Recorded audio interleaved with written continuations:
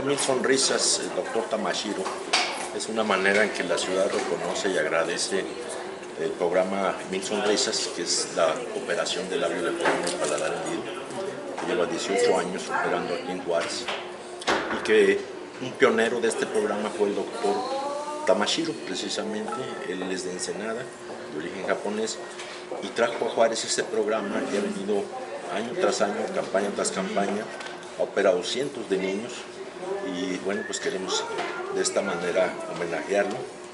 Se va a hacer una ceremonia en la que se le va a entregar un reconocimiento en la Escuela Superior de Enfermería de FEMAP y posteriormente pues ahí tendremos una celebración. En el Paseo Mil Sonrisas eh, precisamente se busca identificar en este sector de la ciudad y enfrente precisamente de FEMAP eh, esa labor social que a través del Club Rotario Juárez Paso del Norte se hace con el programa Mil Sonrisas.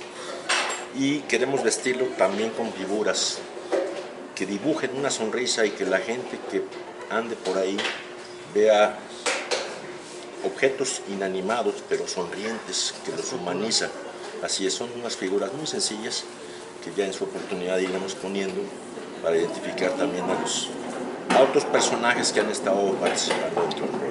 Camellón de la Rivas Guillén, de la calle Colón y David Herrera Jordán. Realmente es un tramo corto, son 170 metros.